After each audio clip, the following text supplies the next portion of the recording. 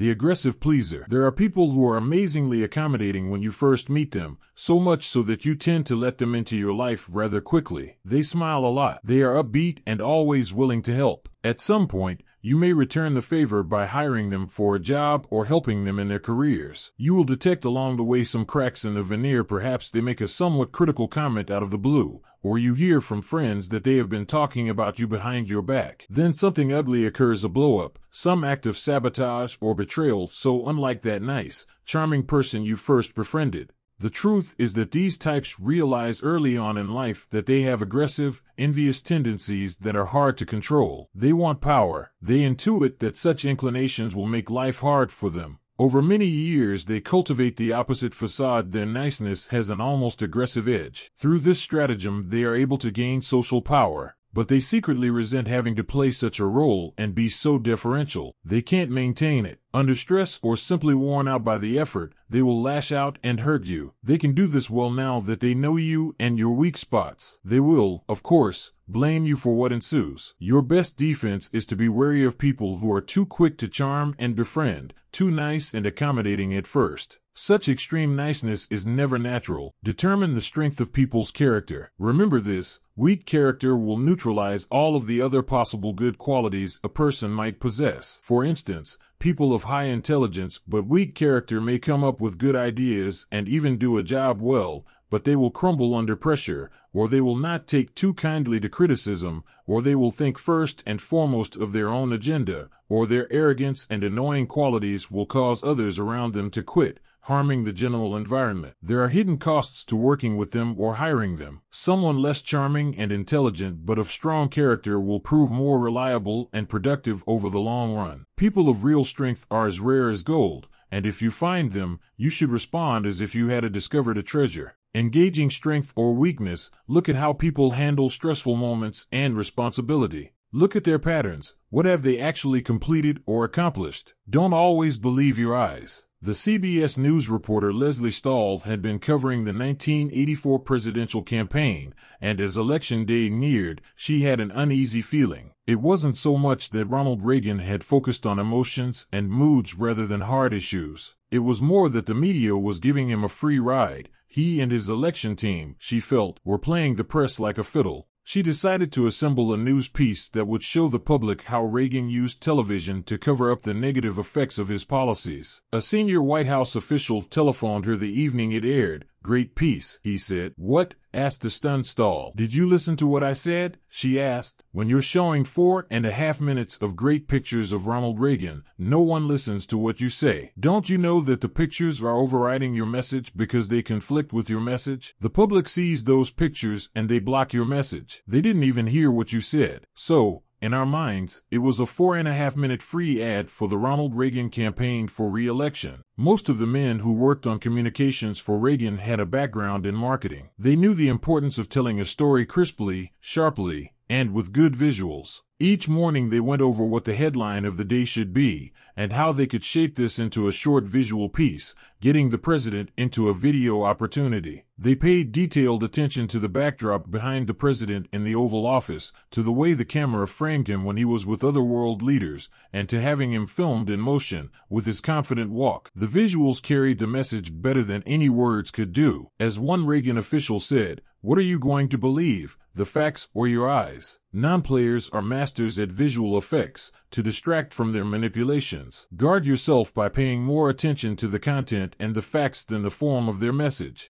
Easy money. Dangling the lure of a free lunch is the con artist's stock in trade. No man was better at this than the most successful con artist of our age, Joseph Weil, aka the Yellow Kid. The Yellow Kid learned early that what made his swindles possible was his fellow humans' greed. Over the years, Weil devised many ways to seduce people with the prospect of easy money. He would hand out free real estate, who could resist such an offer? And then the suckers would learn they had to pay $25 to register the sale. Since the land was free, it seemed worth the high fee, and the yellow kid would make thousands of dollars on the phony registration. In exchange, he would give his suckers a phony deed. Other times, he would tell suckers about a fixed horse race or a stock that would earn 200% in a few weeks. As he spun his stories, he would watch the sucker's eyes open wide at the thought of a free lunch. Don't let yourself get lured in by the prospect of easy money. As the yellow kid said himself, Greed does not pay. Be suspicious of anyone dangling the lure of something for nothing. Get rich quick schemes are scams. The lottery is really a tax on the mathematically illiterate. There are no shortcuts to power. Avoid the drama magnet. They will draw you in with their exciting presence. They have unusual energy and stories to tell. Their features are animated and they can be quite witty. They are fun to be around until the drama turns ugly. As children, they learned that the only way to get love and attention that lasted was to enmesh their parents in their troubles and problems, which had to be large enough to engage the parents emotionally over time. This became a habit, their way of feeling alive and wanted. Most people shrink from any kind of confrontation, but they seem to live for it. As you get to know them better, you hear more stories of bickering and battles in their life, but they manage to always position themselves as the victim. You must realize that their greatest need is to get their hooks into you by any means possible. They will embroil you in their drama to the point that you will feel guilty for disengaging. It is best to recognize them as early as possible before you become enmeshed and dragged down. Examine their past for evidence of the pattern and run for the hills if you suspect you are dealing with such a type. The sincerity ploy. Sincerity is found in very few men, and is often the cleverest of ruses, one is sincere in order to draw out the confidence and secrets of the other. By pretending to bare their heart to you, clever non-players know they make it more likely that you will reveal your own secrets. They give you a false confession in hopes that you will give them a real one. Detect their true motives. In the Machiavellian perspective, few events in public life are rarely what they seem to be. Power depends on appearances, on manipulating what the public sees on seeming good while doing what is necessary to gain and maintain power. Sometimes it is easy to see through the fog and pick out people's motives or intentions, but usually it is quite complicated. What is really going on? We ask ourselves. In the new media environment, the ability to create fog and confusion has been greatly enhanced. Stories and rumors can be planted with virtually no source behind them. The story will spread virally. Before people begin to question the validity of story A, their attention is distracted by something else, story B or C. In the meantime, story A takes root in people's minds in subtle ways. It is an added layer of uncertainty and doubt that makes it quite easy for all kinds of insinuation games. To decipher events that seem hard to read, I sometimes rely on a strategy that comes from the Latin cui bono. It was first used in this context by Cicero, and it literally translates to, for whose good, or benefit.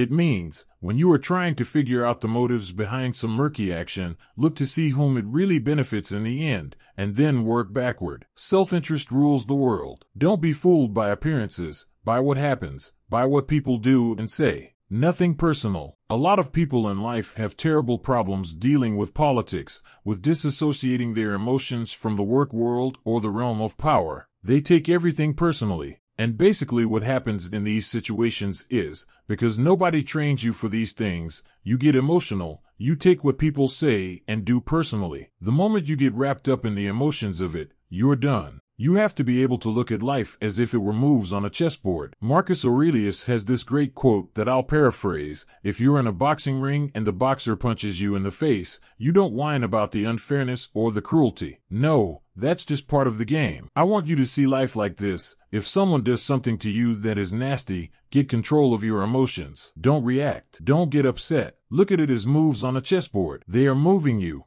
Don't listen to their words because people will say anything. Look at their moves. Look at their maneuvers. Look at their past actions. Actions tell you who they are, not what they say. That kind of self-control is immensely liberating and empowering. Judging people by their actions and not taking them personally will free you up, help you keep your emotional balance. Everyone wants more power. There's the famous line from Lord Acton that absolute power corrupts absolutely. People quote it a lot, but Malcolm X said the opposite is also true, namely that having power may corrupt, but having absolutely no power corrupts absolutely. The feeling of having no power over people and events is generally unbearable to us. When we feel helpless, we feel miserable. No one wants less power, everyone wants more. When in doubt, Assume that people are doing what they are doing and saying what they are saying because they want more power, not less.